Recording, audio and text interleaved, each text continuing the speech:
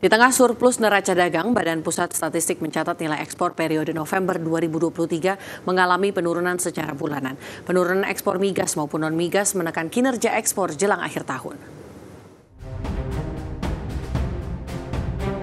Di tengah surplus neraca dagang ke-43 bulan secara berturut-turut, Badan Pusat Statistik mencatat nilai ekspor Indonesia turun pada November 2023 secara bulanan. Nilai ekspor November mencapai 22 miliar dolar atau turun 0,67 persen secara bulanan. Penurunan nilai ekspor secara bulanan didorong oleh penurunan ekspor baik migas maupun ekspor non-migas. Pada November 2023, ekspor non-migas tercatat 20,72 miliar dolar atau turun 0,29 persen dibanding bulan sebelumnya.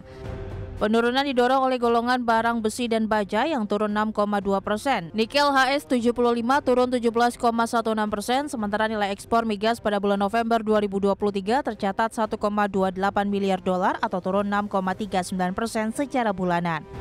Tercatat pangsa ekspor non-migas ke Tiongkok mengalami penurunan baik secara bulanan maupun tahunan, sementara ekspor non-migas Indonesia kedua kawasan utama yakni ASEAN dan Uni Eropa juga mengalami penurunan secara tahunan.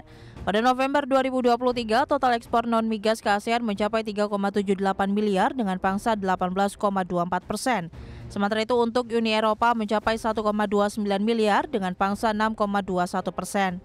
Sementara kinerja impor sepanjang November naik 4,89 persen secara bulanan, nilai impor tercatat mencapai 19,59 miliar US dollar.